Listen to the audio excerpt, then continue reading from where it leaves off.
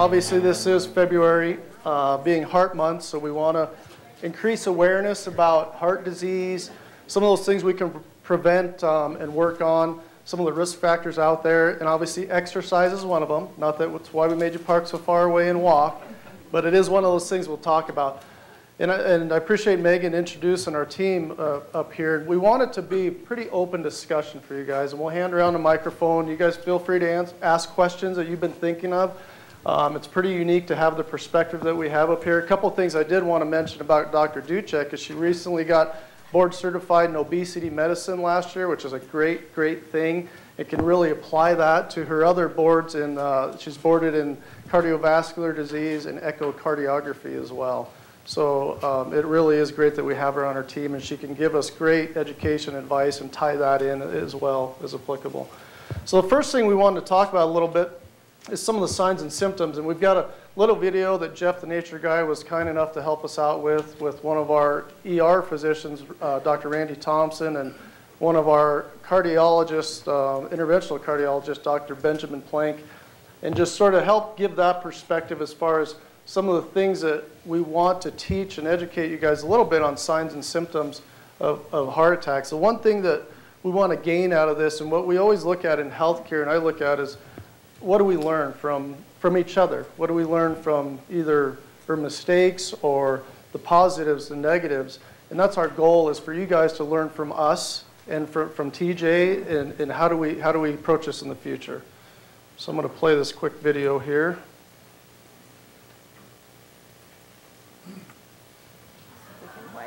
Yeah, I'll get Hey guys, Jeff the Nature Guy here at Billings Clinic, and I'm here today to talk about heart attack awareness. Did you know heart disease is the number one killer of both men and women? So today we're going to meet with both a cardiologist and an ER doctor to talk about the signs and symptoms of a heart attack and why calling 911 is so important. But here's a twist. What we're going to do is we're going to put those doctors under some of their own stresses with the help of some of my friends, like Fred the cockroach here and Mesa the gopher snake. Come on inside and join me. I am joined by two of the great doctors of Billings Clinic, Dr. Thompson, an ER doctor here, and Dr. Plank, a cardiologist. Now, the important thing is, is to know the signs and the symptoms of a heart attack. And imagine this, there is a lot of reluctance to call 911. Now, Dr. Thompson, of course, there, obviously I would imagine heart attacks are very scary, but why on earth would somebody be reluctant to call 911? Well, they might be scared. They might be in denial that they're having a heart attack. They might not want to inconvenience their family or call an ambulance to their house in the middle of the night. Um, and they just don't recognize the signs or symptoms of a heart attack. Now, Dr. Dr. Plank, a question for you is that when somebody calls 911 and you guys are preparing for this individual to come in, what do you guys do here at the hospital to prepare for that? Well, Jeff, time is muscle when it comes to a heart attack. As soon as emergency services are contacted, we can begin to prepare for a patient's arrival if it turns out that the patient is actually having a heart attack, this can be identified in the field by the EMT crew. The ambulances in Yellowstone County are able to transmit EKGs and other patient identification uh, information to the emergency room so that we're ready for them. And we have a team of doctors, nurses, and technicians who are on call 24 hours a day in our cardiac cath lab. The amazing thing to me is that calling 911 can actually shave about 20 minutes really off of your prep time, getting things ready here. So basically it's adding 20 minutes to your survival time. Is that true?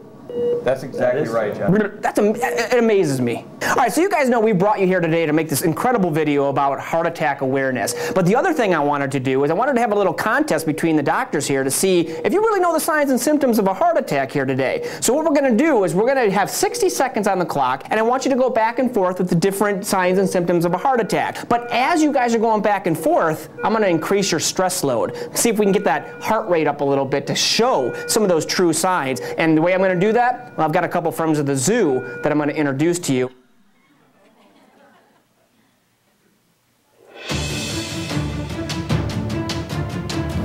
All right, go. Chest pain.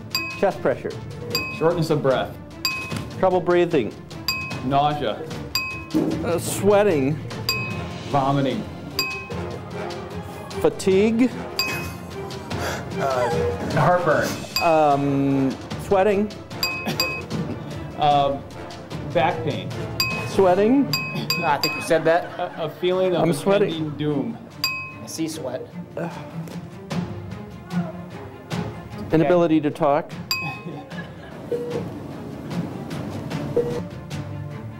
Um, shortness of breath, Anxiety. dizziness, You guys okay? Do I Jaw pain. Palpitations, like your heart is racing, 10 seconds. Neck pain. feeling of fullness, Jaw pain. What? Wow. We're up. We're ti You guys did unbelievable under the pressure that you were under. This is real. I mean, this is true fear that you're seeing here. You guys did great, and we got to thank these guys, the Madagascar hissing cockroach. Not so bad when you see him up close. This is Fred, by the way. And then we got Mesa, who is a gopher snake found down in the south. We have snakes like this here in Montana. A pretty cool looking animal and pretty nice, right? yeah, he's pretty nice. Now get him off you, is that what you're trying Yes, to say? please. Sure. Guys, thank you both so much for all the wisdom you did here today, and of course being good sports with these animals. I will take your anxiety level down, and I will remove these animals for you. But again, what you guys did is just valuable, and hopefully, as we said, save some lives. So guys, I'm Jeff the Nature Guy here at the Billings Clinic, and remember, call 911.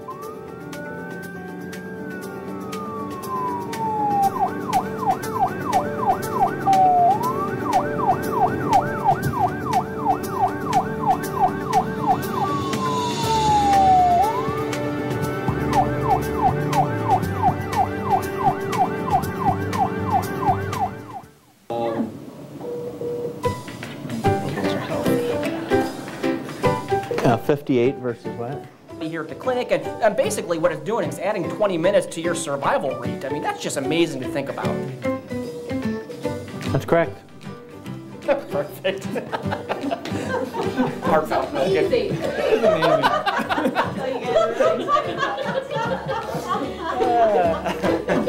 Uh, we could just say, yep. Now they know. Sorry. We're too excited. Yeah, now I'm too excited. Shortness breath. Sweating. Oh. we'll do we'll do that again.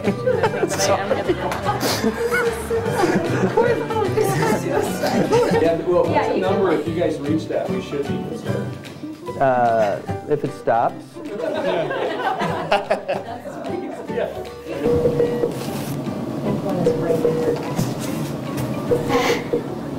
That was a good I need you out there doing what you guys do best, so I'll help you out. But thank you for for all of your hard work today, and again, that wisdom that hopefully will save some lives out there. So obviously they had quite a bit of fun doing that too. But what we wanted to try to do in doing that was sort of bring to light some of those things that obviously we're trying to get more people to be aware of. What do you think one of the main things that we're trying to, that the numbers piece we talked about that was brought up, a big one is Montana versus the national average is the amount of time to call 911. And Joni's going to really talk about this a little more. But for Montana, it's an average of four hours before we call 911 versus the national average is two hours. Why is that? Every, we're tough as nails. I don't. Denial, some of those things. Those are real things that I think, you know, is, is living in rural Montana and, you know, we're self-sufficient. We're used to doing things on our own.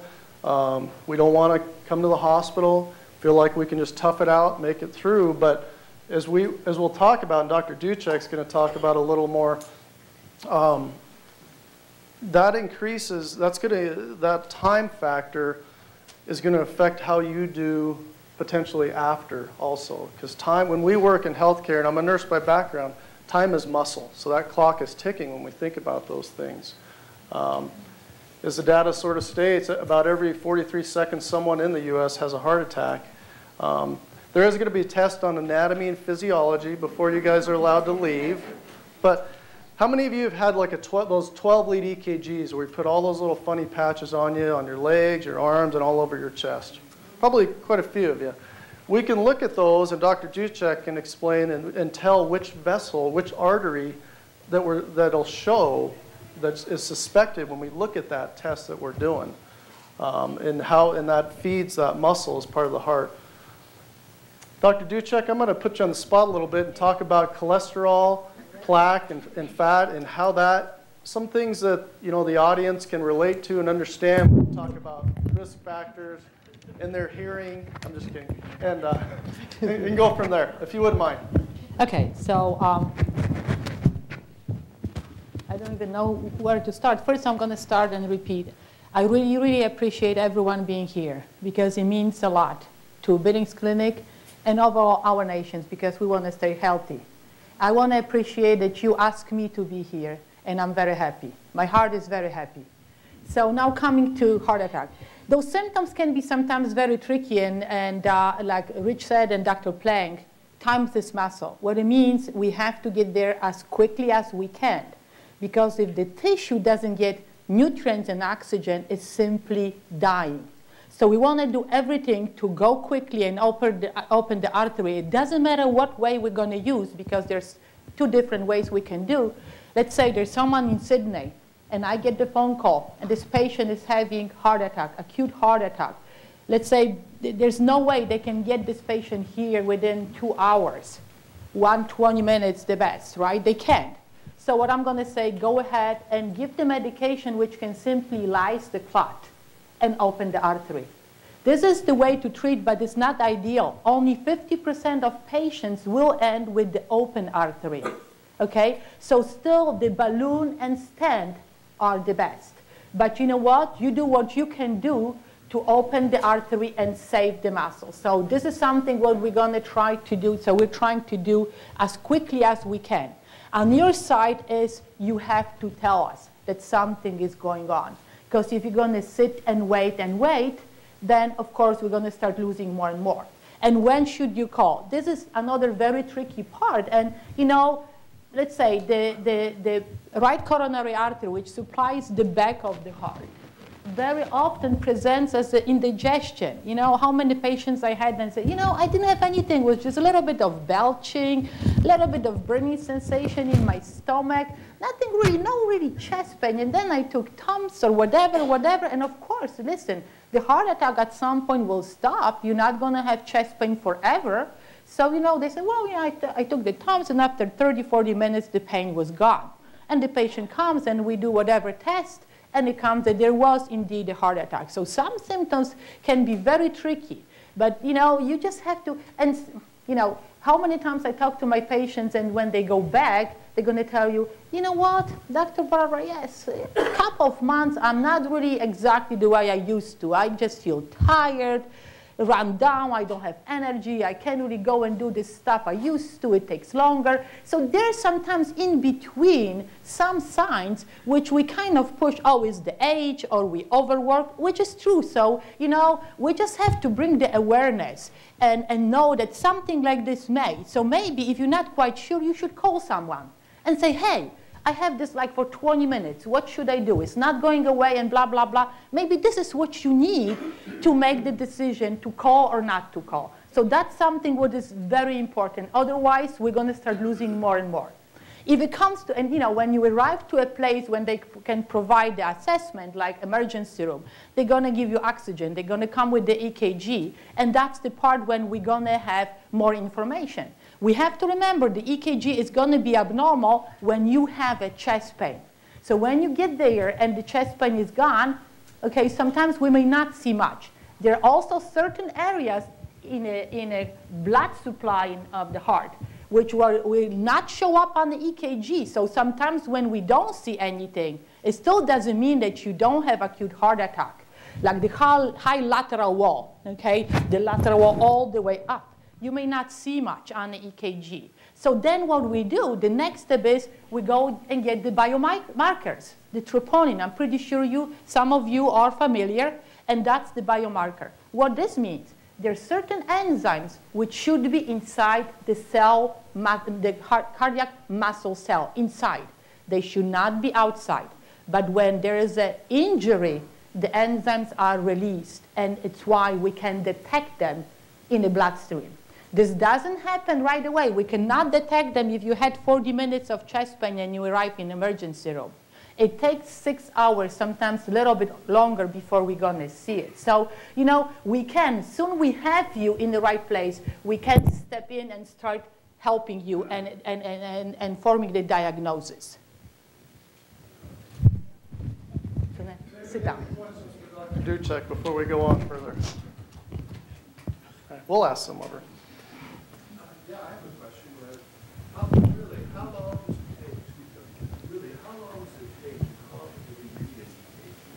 Say again, how long it takes to read EKG? Read EKG? Right away.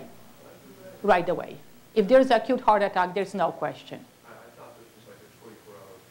No, no, no, no, no, no. The evolution of, okay, the question was how quickly we can accurately read the EKG right away. If you come to emergency room with ST elevation, acute myocardial infarction, there's a, it's absolutely black and white, black and white. The 24 hours, then you're going to see the evolution of the EKG because there's going to be a change. But when you walk in and the artery is completely occluded, there's nothing you can miss, honestly. It's just, that's it. So absolutely right away. You're welcome.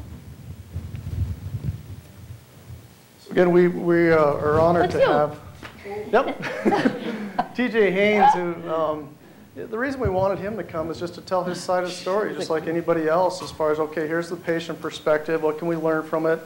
Um, And uh, I'll let TJ sort of explain what he was sort of minding his own, bus- his own business, just sort of sighting guns in at the gun range on Memorial Day.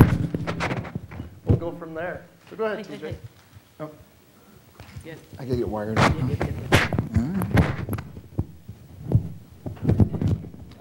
Thank you. Mhm. Hi. First of all, thank you very much for inviting my wife Jackie and me to speak here today. Um, I think it's a proof of the staff and Dr. Dudczak, a good uh, a testament of their good work that I was able to survive the third quarter of the Super Bowl this year, and I thought the Broncos were about to kill me. So, uh, start at the beginning. Uh, you know, every every symptom that they mentioned in the uh, video was was right on. I had been um, experiencing some uh, uh, minor indigestion for uh, for a couple of days before Memorial Day. Um, um, a minor aching back. It wasn't anything out of the out of the ordinary. Uh, but I went to the range on Memorial Day on, on May 25th and getting ready for the Quigley shoot, which is a black powder rifle shoot. And uh, I walked out to the 300 yard range and started feeling um, really tired and just like uh, onslaught of flu. I thought, oh gosh, you know, I don't, I don't want to spend a couple days in bed. You know, I just, I'm just weak, but, but not necessarily nauseous. But uh, and I started arguing with myself. You know, what does it mean to be short of breath? I don't know what that means. You know, but I, but I, uh, I thought, well, you know, this is kind of weird. But again, it just felt like the flu. So I set up my targets and I walked back to the the line, and. Uh, I shot for 15 or 20 minutes and felt great. You know, back backache went away and and uh, felt, you know, had energy now. So it's like cool. And I um, after that I walked back out to the 300 yard line to to change my targets, and that's when I knew something was definitely wrong. I mean, I, I still remember that, that thought in my head and say, man, something something is not right. Um, I feel like I could just take a nap right now. And I've been through enough first aid classes that probably everybody has. And you start, you know, thinking, well, do I feel pain in my jaw? No, I, I don't have any pain radiating from my arms. In fact, I don't really have any pain in my chest other than, than the indigestion again. So, all right, set my targets. I, I always start walking back to the firing line. I get to the 200 yard line. And I have to get on my, I, I put my hands on my knees and it's like, wow, I'm, I'm really out of breath. I mean, this is, this is crazy. There, there's something wrong. But I don't feel nauseous. I don't feel like I'm going to be sick, but something's not right. So, you know, guys are waiting for me. It's like, hurry up, get back to the line. So I do. And uh, I was like, wow, I'm going to just go back to the truck and, and uh, sit down on the tailgate for a while. So I do that and like, like an idiot that I am. I, I, you go through the, the same denials that they talked about. Like, well, this can't be a heart attack because I'm only 20, you know, 30, you know, I'm 40. No, crap, I'm 50. Shit, you know, when did that happen? So, you know, I was like, God, you know, but I don't have any pain. But, you know, if I go to the emergency room, they're going to say, well, we don't, we don't see anything wrong with you, you know. So, okay, well, there's $400 shot, you know. And I'm certainly not going to call an ambulance because there's, you know, there's a lot of money there probably, you know. Now, I don't know any of these things, and all that turned out not to be true at all. So, you know, I called my wife. Hey, you're going to have to take me to the hospital. And she's like, why? I said, because I don't know. There's something wrong. You know, All right, you know, I'll come down. Now, it's really idiotic because you need a gate, cat, gate pass to get through the gate at the range, but I figure she'll, she'll work around it. And so um, I call her, and, and the other guys at the range, and this is, this is, I mean, they're much smarter than me, and they're like, hey, dude, you know, there's something wrong with you, huh? I said, yeah, I, I'm just not, I can't catch my breath. They said, well, we're going to call 911. I was like, well, it's out of my hands now, you know. I mean, this can't, and, and that's the first thought, that's the first time I thought, God, could this really be a heart attack? I mean, you know, I, I don't have the pain, but it, it, it's getting kind of, getting kind of bad, but, uh, but I don't know. I've never had a heart attack before. So, so they called 911, and, and I was like, oh gosh, what's going to happen to my rifle, my gear, my spinning scope? Ooh, you know, I, I don't have the energy now to, to pack the stuff up. And they were awesome. They were really great guys, and they packed it up for me.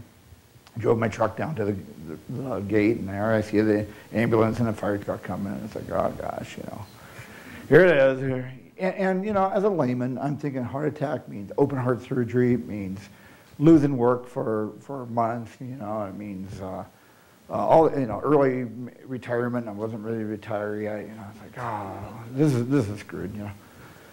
So the, the ambulance crew is great, you know, and they, they put me in the ambulance and, and they ask the question that I know you, you guys are all familiar with, you know, on a scale from one to 10, where's the pain? And say, how in the world do you answer that? You know, it's like, well, it's definitely worse than childbirth. but, oh, what's that? How do I know? I'll tell you I know. I'm glad you asked. Because women will have two or three kids. Why? I don't know. I'm never volunteering for another heart attack. So there's my proof that this was working. I worked on that a long time, huh? So anyway, so, oh, you know, so you don't want to seem like a wimp and, and say an eight, you know, because it, it wasn't. But you don't want to say a three. It's like, well, why did you call us if it's only three? So you go five. So they, you know, start hooking things up, and they're, and they, you know, well, where do you want to go? It's like, well, Billings Clinic, you know, because I'm thinking, where's my preferred provider, and where's my health insurance cover? And uh, and boy, I tell you, the, the ride to the, the hospital was pretty non-eventful. They're asking questions, giving me nitroglycerin tablets and and whatnot, and and I go into the emergency room, and I'm thinking, oh yeah, here's where we're going to spend a long time. Nope man, through the emergency room into the cath lab, and, and that's what, you know, that the technology is just amazing. And that's when Dr. Sample tells me, hey, you're having a really big heart attack. I mean, this is the real deal. And I remember telling him, don't tell me that. Just tell me it's indigestion. Give me a pill or something. And they said, well, we could treat it with medication, just like you're saying. But your survival rate is much higher if you have a, a procedure. It's like, wow, you know, survival, you're talking survival here. So yeah, yeah, do, do the procedure, you know. So, um, uh, so he says, yeah, we're going to put a, a stent in your heart. It's like, okay, well, you know, I'm sure you're going to knock me out and, and put me under, and I won't remember any of this, and I'll wake up in a, in a, in a recovery room. And uh, they said, no, you know, we're, we'll get it in fairly quick. And they're talking amongst themselves, and all of a sudden, wow, hey, I feel fine. No, I, I think it's passed now. And they start laughing and say, no, dude, we just opened up the stent. It's like, you did? I mean, you put it in and, oh yeah, it's all done. So it's like, wow. I mean, you need to tell people this. It's like, you know, it's not, heart attack doesn't mean open heart surgery. It doesn't, you know, all the time. So they wheel, they wheel me to ICU.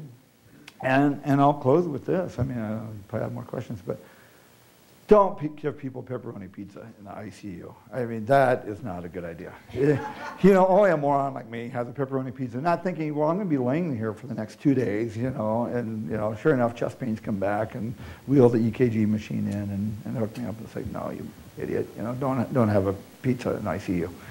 But anyway, and that was it. I mean, the rest of it was very non-eventful. I lost a total of four days of work, and really I didn't have to do that, but... Uh, went back to work and started exercising right away and, and doing the, uh, the uh, cardio rehab uh, routine and uh, went out and bought an elliptical machine. I've been doing that ever since and just trying to do the best I can to stick around for my wife and my kids.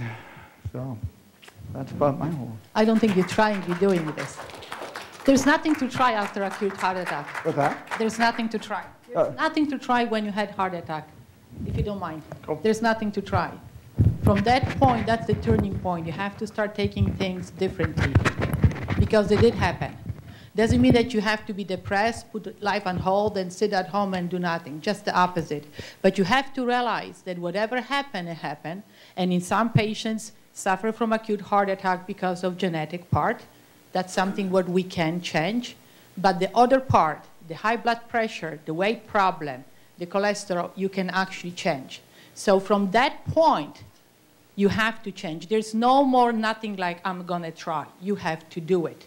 And what really, really makes me really sad, and I'm very sincere when I say this, when I see patients like this and they're back in my office, they suffer either heart attack with stent like you, or even the next step, more serious, open heart surgery. And they're back in my office three months later, their weight is up, they don't exercise, and they eat again. I always ask my question when I go home, even though I try to close my office door and forget about work. Sometimes I go home and I still cannot forget. What it takes for some of us to change, because whatever you've done until the heart attack, let me tell you, it didn't work. It's time for you to change. You have to change. That's the only way. I was in ICU rounding on a weekend. There was a lady who was in her early 60s. She came with acute heart attack. She had stand put, and she was in recovery. The whole family was in the room. I was covering for my partner, and they come with 50 million different questions. I'm, oh my God you know, but okay, I'm there and I say, okay, let's face it. So I'm there and I'm trying to. So one of the question was, and I said, okay, well, everything ended well. You in a recovery process, so we're gonna get you for exercise and this. Oh, my mom, she's an exercise freak. She exercises every day, like you know, 40 minutes and five or six times a week. And look what happened to her. And I turned to this young lady. I said, if she haven't done this, she would have the heart attack 20 years ago. You have to remember, you can cha change the course. I'm telling you, you can. And I can see many patients who've changed. Like I just said, one patient. He's, he was admitted because of high blood pressure. Now his blood pressure is fine. He lost seven pounds. He's in exercise. You can do it.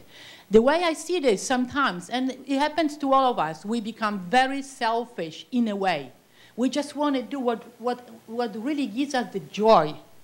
But we forget, forgot about the family, the husband, the wife, the kids, who are actually crying in the corners because they see that the father continued to smoke, continued to eat fat, and doesn't change, didn't change diet. I had patient, 375 pounds. I sent her to weight reduction clinic because I know I'm going to lose this lady. She comes with her daughter, okay? Even being in a weight reduction clinic, she gained nine pounds. So she was expelled from the clinic because they're not going to take her. And you know she's going to fail, even if they're going to do the surgery. Her daughter was crying, and honestly, I dropped my hands. Very rarely I do so. But there was nothing. She built the shield. Nothing was crossing. And she's going to go, and at some point we're going to lose her. And it's unfortunate because she's very young. And to me, it's very selfish approach because if I saw my daughter crying I don't know what I would do. I would do anything to be sure that I'm going to stick. Because remember, it's not the Easter this year. It's the Easter 10 years from now.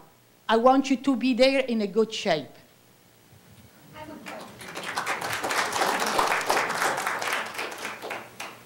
Have different attributes as far as having pain for heart attacks. What?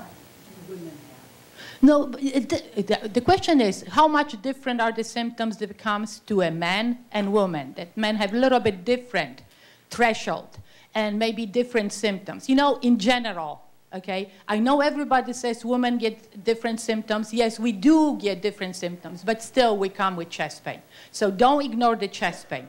Women, I think just because the way we are busy with every day schedule and, and, and chores and this, we, we kind of ignore and blame. We're tired, we're more short of bread because we've done so much. We have to look after kids, do the laundry, cook, go to work. So it is very busy schedule. And I'm not ignoring the, the male part in a family. I mean, you are important, don't take me wrong. So yes, we come sometimes just with the chest pain, but remember, the threshold sometimes is different. What I'm going to call pain, you may call maybe little bit of tightness. So, you know, it's different, it's different. So I think you just have to start to know your body. And uh, let me tell you, if you're going to walk and you get chest pains and it's pretty consistent, you better call someone and talk to someone.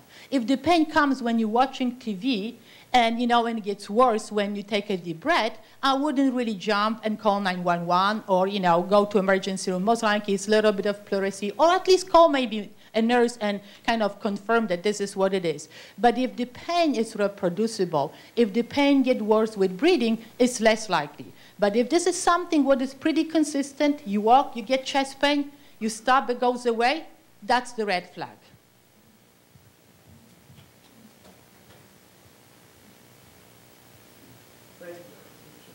We'll keep moving along here a little bit.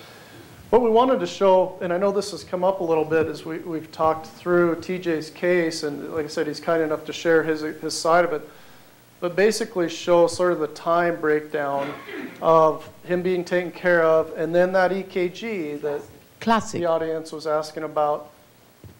Some of those things we look for are classic, sort of the, there's like a, oh, it's a peak basically where the line doesn't come back down, but that, those are the things we look for. Dr. Dudczak looks for, and knows right away. This is what we call the ST segment elevation. That's how we describe this, but it's like a, like a tomb. And, it, and it- you go to graveyard. This is what it is. This, this is the ST elevation. And certain part of the EKG, I can actually pretty accurately say which artery on your heart is actually occluded. So this really helps. But like I said, some of the areas, the EKG is not really very helpful. So you have to take the next step.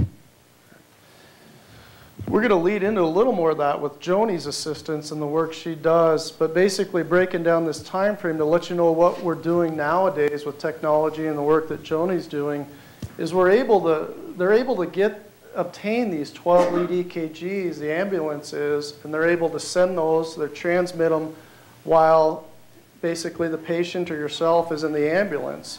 That way we can prepare the cath lab team, the ER, we know well ahead what's coming. We know how to prepare, and that's why for TJ, we were able to really go right by the emergency department um, with activating. We call the code STEMI here. Once they see this, we know what we're looking at. They get the cath lab team ready, they get the table ready, the, the cardiologist, Dr. Sample, and they're able to really do this within basically 27 minutes when he hit the when he rolled in from the ambulance bay. When the ambulance met him up at the gun range, it was 46 minutes. They look across the nation. We want a goal. The 90 minutes is a measurement for us to benchmark against. But that is uh, pretty remarkable results. But that shows what we're trying to do with educate everybody on calling 911, trying to activate all these things as early as we can. Because again, what we're talking about, time is muscle.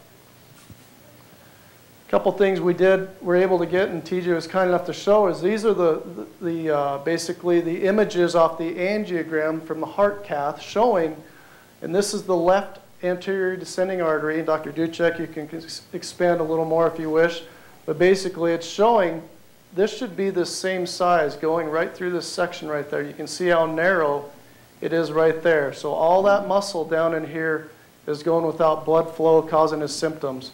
So that's, that was the angiogram before. This shows basically the stent. Basically, they put a little balloon in there, open up that area blockage and plaque, and then slide a stent up there.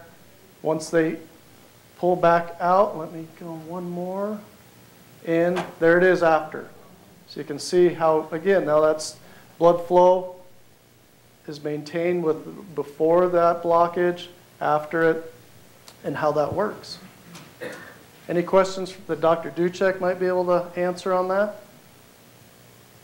Is there any point in time when they could not do that? So the question is, is there any point in time they cannot do that? And I can let her answer that, would be better. Not to put the stent? Yeah. Um, Actually, the only time when they can put stent is time-wise, there's no restriction. For the thrombolytics, there is restriction because after a certain time, it's not going to work. If it comes to stent, yes. Actually, they can actually pretty much go after anything. There could be a difficult time for them to open up. There are situations when they cannot go and open it up. But if we're talking about acute heart attack, most of the times they actually, I would say 95%, maybe even more, they, they go and they able to open because it's a fresh clot. So they can just go with the wire, cross this, bring the balloon, open the area, put the stent, and it's done. So for acute heart attack, yes, they can actually go and open up actually pretty much everything. Does that break up the clot? Well, it can push a little bit. Sometimes if they see, uh, uh, if they, what happens with the clot? If the clot can be uh, pushed down. If they see there is a huge burden of clot, there is a device that can actually suck the clot out. And then they're gonna put the stent and then go with the balloon open and then, and, and the stent stays in. So, but there are situations when the clot can shower down. So those are the patients who have post angioplasty, still a little bit of soreness, a little bit of pain. And sometimes we can't really avoid this. It's just, you know, sometimes you have to just pick up the less evil and go and, and save overall most of the myocardium, and sometimes you have to sacrifice. Sometimes they have to sacrifice some of those little branches when they go with stent, because when they're going to put the stent, they may actually close it. So, you know, so it, it is, is a situation when they're trying to save as much as they can, but sometimes they have to sacrifice a little bit. Yes? Can the body reject the stems? No, no. The, can the body reject stent? No. It's just such a, a small um, a, a piece of metal, you can't really have allergic reaction to it. No. The body incorporate it into, The body will incorporate it. What, happen, the, what happens with the stent? So this is what happens. When patient receive drug-eluted stent, and that's the reason why the patient is asked to continue Plavix, because it's a foreign body, something which shouldn't be inside your art, uh, one of the artery on the surface of your heart. So the Plavix will prevent from clotting, but it takes up to six to, to eight months when you're going to see the endothelium. Endothelium is a single layer organ because it can produce so many hormones. It's a single layer um, uh, uh, which covers inside the, the stent. So after a certain time, uh, let's say autopsy, if we, we go and look, you can't even see the stent inside because it's just covered and looks pretty much like the rest of the artery. But it takes time.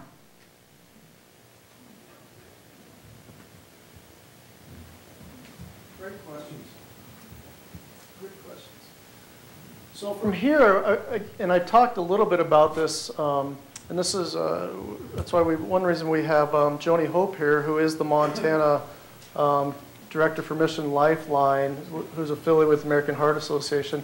I want her to talk a little bit about the work they've been doing throughout the state in our area, um, and really everything that we're talking about and how it applies. Um, Joni? Okay. I didn't know we were going to walk around. I didn't wear sensible shoes. So I'm going to stand right here. so Mission Lifeline Montana is um, a grant-funded program we have in our state, and it's a three-year initiative to kind of put the building blocks in place to build a system of care for heart attack patients. And when we talk about a system of care, we're talking about every single party that plays a role in getting your vessel opened as quick as possible. And um, you may not know this, but you're the first you're the first important party in that whole system. But the system won't work unless you call 911. Are you going to advance the slide? so this is kind of a picture of what it would look like. Um, ideally, what we want it to look like. What happens in the state here in the past couple years is more sequential. So a patient would experience symptoms, call 911, an ambulance would pick a patient up, take a patient to their local emergency department, and if they live around Billings, would, they would come to, you know, a PCI center or a cath lab capable hospital to that emergency department, where they would then get an EKG, and then they would determine treatment. But now, um, what our goal is, is we're putting equipment in all of the EMS agencies or the ambulances across the state that can transmit that EKG from your home or from wherever you're having a heart attack. So instead of things happening sequentially, they can transmit that EKG right when they get to you. And when I tell you in Billings, the average time is three minutes. From the time your EMTs are on site, they'll have that, trans- that EKG in your cardiologist's hands within three minutes. And then they can determine care. So they can activate the cath lab right away. And oftentimes in our rural areas, those patients don't even need to stop at that local emergency department. If they can get to Billings Clinic within 120 minutes, they will just use that time, of patient transfer before the patient gets to that emergency department to determine how they're going to get the patient to Billings Clinic. So it's a really important piece of equipment to get. But again, it all starts with you. So right now, I think only 14% of Montanans call 911 when they're having a heart attack. And that's pretty scary to think about. So we really encourage you to look at those symptoms and think about what's going on with your body and call 911. Because time is muscle. I kind of covered this. Uh, yeah, so an EKG can tell Dr. Dudczak or the other cardiologists or your emergency room physicians if you're having a heart attack right away, and they can even pinpoint the part of your heart where it is. So they can have the cath lab activated and everything prepped and ready to go the second you hit the door. So the ER physician can diagnose your heart attack um, before you get here, on your way to the hospital, and you can bypass the ER and go straight to the cath lab. That works really well if you're here, um, here in Billings, but if you're from an outlying area, which we know that Montana's you know, pretty far out there, you can have, uh, takes a long time to get to an emergency room. Dr. Dudczak was talking about how the goal is to get you um, to get a stent into your heart within 120 minutes or two hours of the first medical contact. So the first medical person to, to see you. And that's really hard to do if you're somewhere like in Plentywood, where they try to get those patients to Billings. And so part of our program is to help educate and set up standardized order sets in each of those emergency rooms where they can all offer that lytic therapy to help um, break up that clot as soon as possible. And so right now, um, our goal is to have that therapy in place within 30 minutes of hitting that emergency room door. And we've been able to drop that time about 10 minutes since we've started our program. So we continue that education for our healthcare providers across the state. Um, just some statistics we have here. If you call 911, you can have your vessel opened in an average of 47 minutes. If you drive yourself, it will take about 67 minutes to get your vessel open. So because they can transmit that EKG and have the cath lab ready to go, and it's not that sequential pace that you're moving at, but that simultaneous pace, they can get your vessel open much, much quicker and save your heart muscle. It's not wise to drive yourself, no. you know, a lot of things can happen when you're having a heart attack. If your heart muscle dies, and it depends on, you know, which vessel it is, you could, you know, you die can on pass the way. out. You can pass out because of uh, the heart fails and you can pass out. You can go to cardio cardiogenic shock. You can go to a high degree AV block when the conduction system fails because remember, conduction system is viable tissue.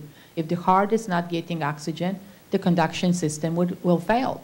So you can go to high degree AV block or simply if the muscle, if the muscle doesn't get oxygen, it becomes very irritable and can produce very serious rhythm problem like ventricular tachycardia. What it means, the lower chambers, which are responsible to pump the blood out, they just go so fast. There's no time for the heart to be filled with blood, and you simply die.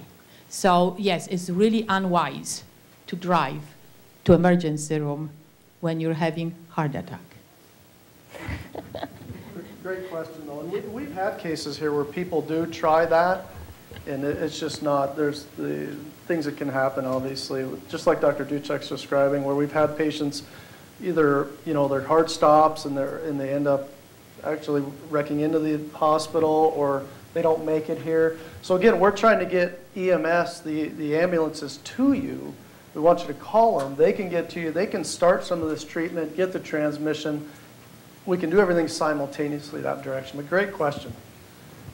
How long after you make the 911 call does the ambulance pull you there? What's the average time for that? So it depends on where you're at. How long it takes for the ambulance So- to actually come to the patient? Um, in Montana, we look at it uh, as an entire state, so I can't really look at it city to city. But and I the, can, I can comment on Yeah, go Joe. right ahead. So we do track it. Um, and that's something within our own um, EMS agencies, through the local ambulance services that provide that service in both hospitals that we meet and talk about that. And we look at their times to make sure they're providing appropriate response time within 20 minutes.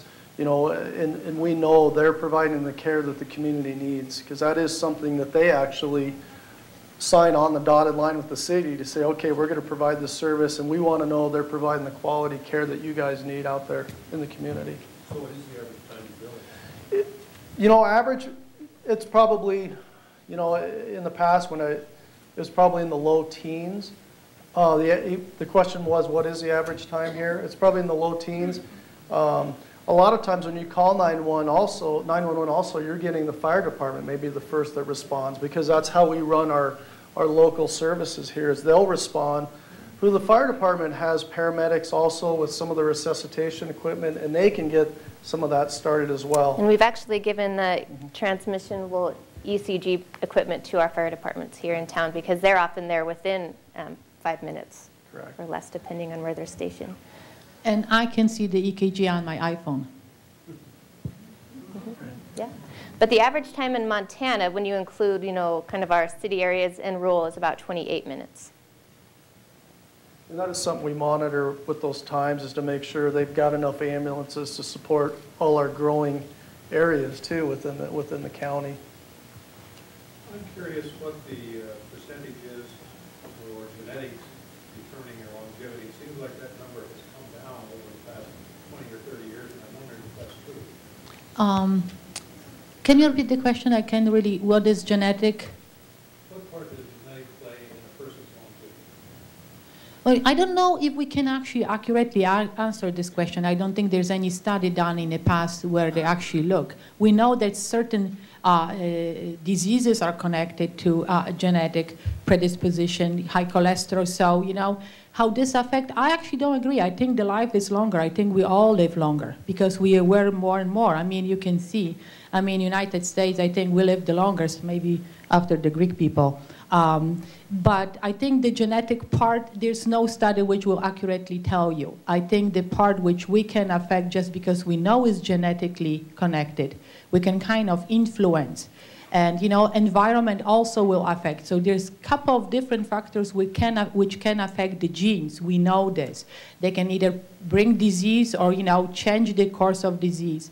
But the part which we can do is the one which follows. You know, the weight, the the uh, diet, uh, cholesterol, exercise. That's something which will affect. So the genes, I think, I would leave on the side. There's really nothing we can do uh, you know, healthy environment, I'm pretty sure will help because we know some congenital heart diseases are connected with environmental exposure, infection, or so forth. So, but I don't think there's anyone who will be able to answer this question accurately, and I'm sorry.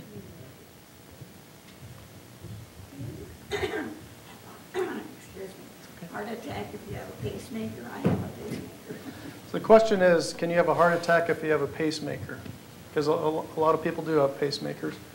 Dr. Dudczak? Actually, there's no connection. I mean, the pacemaker, most of the time you receive your pacemaker because of conduction pr- problem. Either, you know, the heart is in atrial fibrillation and goes too fast, or simply the conduction system, as we get older, and I'm sorry, kind of starts to fail. That's the price we pay as we get older. So, but uh, the heart attack, you, of course, you can have heart attack with the pacemaker. Those things are not really connected. There are patients who end with pacemaker after heart attack when that area is really damaged and they need uh, they need a pacemaker, but not the other way. I mean, you can have pacemaker because you let's say you've got this because you had high degree AV block, you con- or maybe you were born with congenital heart block, and now you need pa- pacemaker, and then five years later you come with a heart attack. So, yes, you still can have, but you won't have it.